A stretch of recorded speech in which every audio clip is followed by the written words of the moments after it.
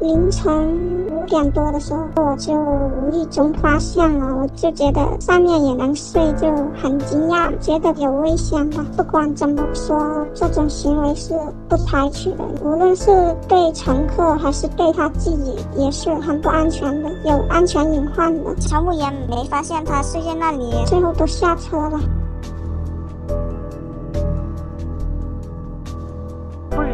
行李架只能放行李啊，人是不能上去睡的，因为列车行进当中速度会比较快，万一这个有一个什么刹车呀，或者说一些减速，那可能就会发生一些人身伤害的事情。我们乘务员也没有这个强制处理的这个权限，如果他再不下来的话，可能就要报告给乘警，然后乘警他们这边去处理了。